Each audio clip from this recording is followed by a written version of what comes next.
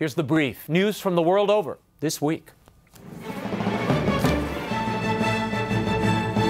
The United States is again at war in the Middle East. Speaking at the United Nations General Assembly on Wednesday, President Barack Obama vowed to lead a coalition to dismantle the Islamic State. The president's remarks came as the U.S. expanded airstrikes against the Islamic State group in both Iraq and Syria. A coalition of five Arab nations joined the U.S. for the strikes in Syria, including Bahrain, Jordan, Saudi Arabia, the United Arab Emirates, and Qatar. It is the beginning of what the U.S. said would be a years long battle to defeat ISIS. The president did stipulate that ultimately the U.S. cannot eliminate the threat of terrorism on its own.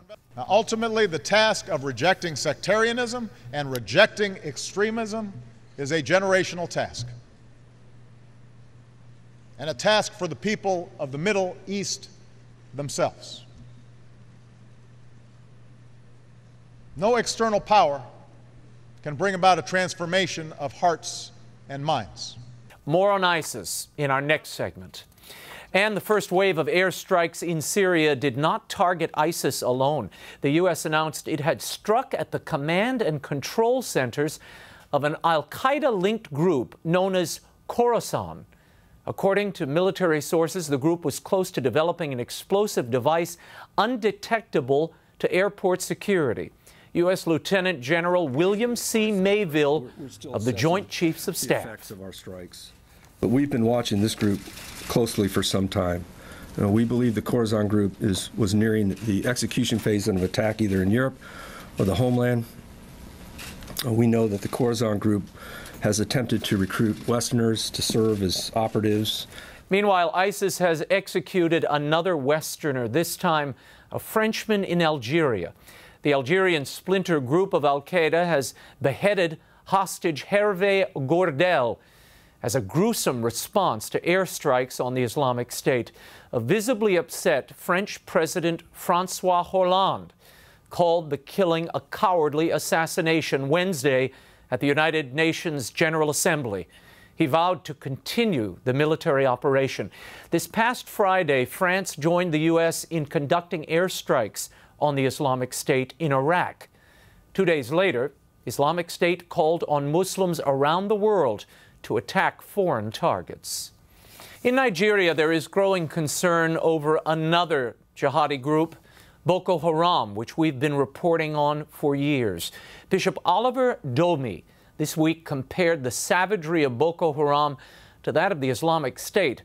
He said the jihadists now control 25 towns in northeastern Nigeria. Bishop Doeme is among thousands of refugees who fled their homes to evade the terrorists. He told the Nigerian daily This Day that most of the refugees in his area escaped being murdered, but many families were separated. Parents have lost children, and a humanitarian crisis is underway. Thousands, he said, are living in caves on the mountains, some in the forest. Thousands have managed to escape into Cameroon and are living under very difficult conditions. They lack food, shelter, and medication a small spot of good news, and it's very small, after false rumors that the government had arranged the release of those schoolgirls kidnapped earlier this year. Boko Haram did release one schoolgirl. The girl appeared to be traumatized and suffering from a nervous breakdown. As world leaders gathered at the United Nations to discuss the Ebola crisis, U.S. health officials are warning that the epidemic in West Africa could explode to at least 1.4 million infected people by January. The Centers for Disease Control believes Ebola has infected more than 5,800 people in Liberia, Sierra Leone, Guinea, Nigeria, and Senegal. Of those, 2,800 have died. Now, these are only the known cases. Back at the UN, Margaret Chan, director of the World Health Organization, offered her own grim assessment and implored world leaders to act. We should expect things to get worse before getting better. People will continue to struggle for survival, and unfortunately, some will die. In a humane world, we cannot allow the people in West Africa to suffer so much. Excellencies, you hold the power to turn this horrific epidemic around, and I appeal to you to do more. And in a bizarre story, Germany's Ethics Council is calling for the decriminalization of incest between adult siblings.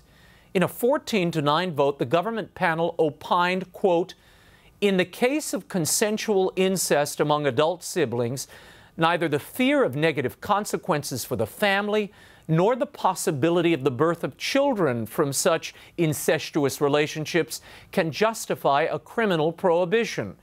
The fundamental right of adult siblings to sexual self determination has more weight than the abstract protection of the family. End quote. The council made the decision after examining a case involving a half brother and sister who've had four children together. The brother, who is now serving a prison term for incest, was given up for adoption as an infant and apparently didn't meet his sister until their 20s. The Vatican has opened a criminal trial against its former ambassador to the Dominican Republic for the sexual abuse of minors. The former Archbishop Joseph Wesolowski was recalled by Pope Francis last year after allegedly paying boys to perform a sexual act. It is the first time a high ranking Vatican official has faced criminal charges for abuse. He's been placed under house arrest due to an unnamed medical condition, according to the Vatican. The Church's canonical court found Wesolowski guilty of sexual abuse earlier this year and imposed the toughest penalty under canon law. He was stripped of his priestly faculties and laicized. Wesolowski could also face criminal charges in the Dominican Republic and in his native Poland. And a major U.S. appointment by Pope Francis, the Holy Father selected a new leader for the Archdiocese of Chicago, Spokane Bishop Blase Cupich. He'll be replacing retiring Cardinal Francis George. The appointment to the premier archdiocese of the Midwest was surprising in so much as Bishop Cupich is the first non archbishop to be named to the post in 99 years. Even he was surprised when the papal nuncio called to share the appointment.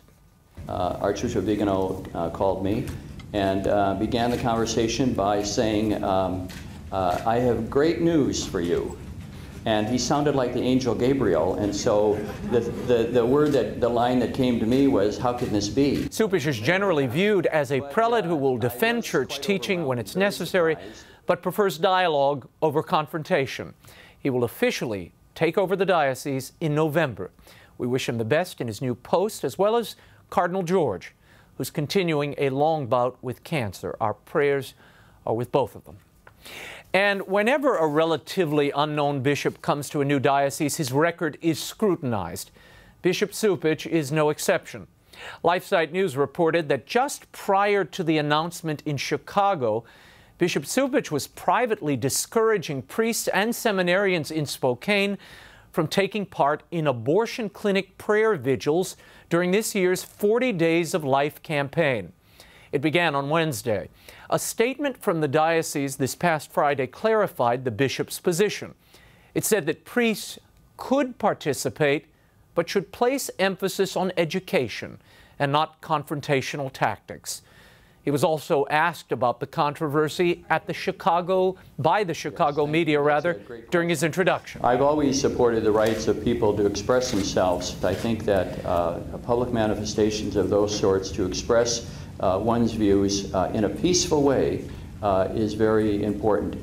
And I think it, we always have to look too at how we make sure that those are done uh, that really produce something in the long run. Liturgically, it's been reported that Bishop Cupich barred devotees of the traditional Latin Mass from celebrating the Easter Triduum liturgies when he was in Rapid City a decade ago. According to local reports, the faithful were literally locked out of the church in which they had celebrated the old rite for 12 years. At the time, Bishop Cupich said the decision was an invitation to unity in worship throughout the diocese.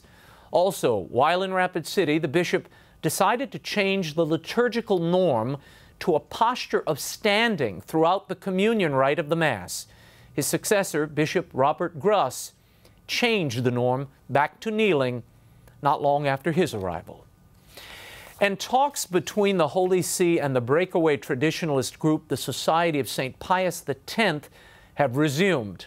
Cardinal Gerhard Mueller, the head of the Congregation for the Doctrine of the Faith and the Pontifical Commission Ecclesia Dei, which is charged with handling relations with SSPX, met this week with its superior, Bishop Bernard Fellay.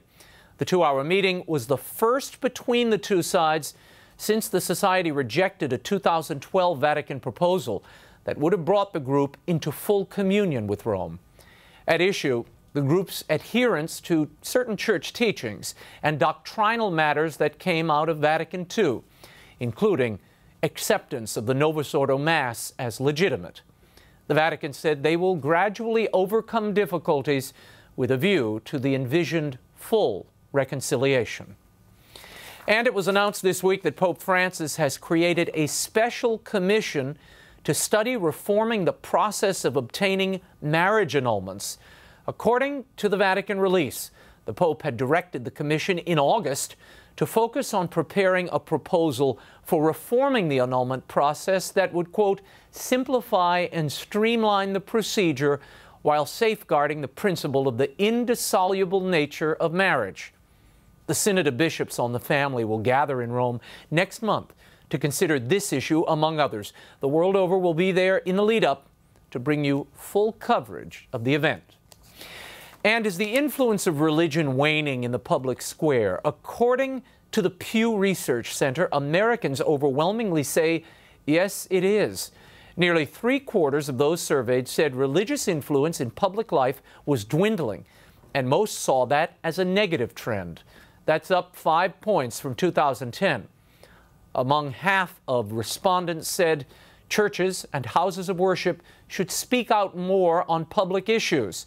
The same survey found that support for same sex marriage has declined and no longer enjoys a majority of support. Regarding the Obama administration, just 30% of respondents agreed that the president was friendly toward religion. That's down 9% from 2009 and down 19% among Catholics and evangelicals.